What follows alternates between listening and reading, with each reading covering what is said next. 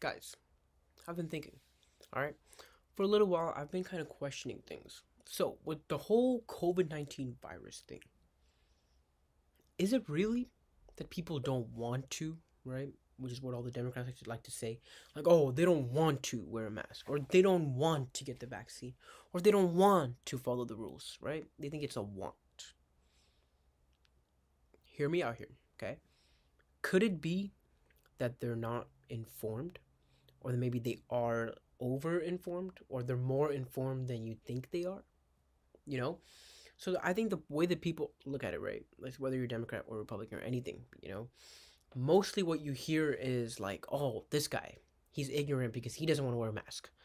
Now, what if he was like a scientist, or what if he was like a doctor and he didn't wear and he, he didn't wear a mask because he knew that he had the vaccine, so he didn't need, he didn't need to wear a mask. Or what if he knew he could just socially distance and he'll be fine? Or you know, what if he just knew that the virus wasn't really there?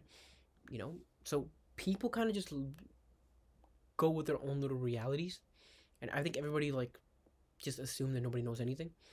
But I think to a good extent, people haven't been researching enough, and people have kind of just been following the whole herd mentality thing, where if one person says, "Hey, take the vaccine," everybody's like, "Okay, I'm gonna take the vaccine," you know. Whereas you gotta gotta kind of look at it from, "Hey, man, you know they're doing a lot of experimentation on this.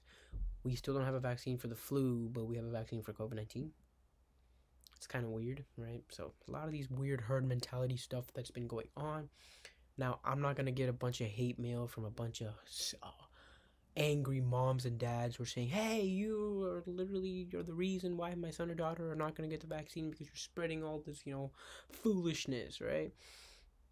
The thing is, like, what if they're actually more well informed than you?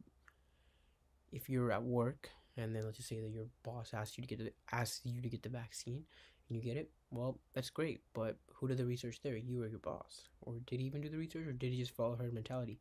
Because now indirectly you've also been a part of that herd mentality.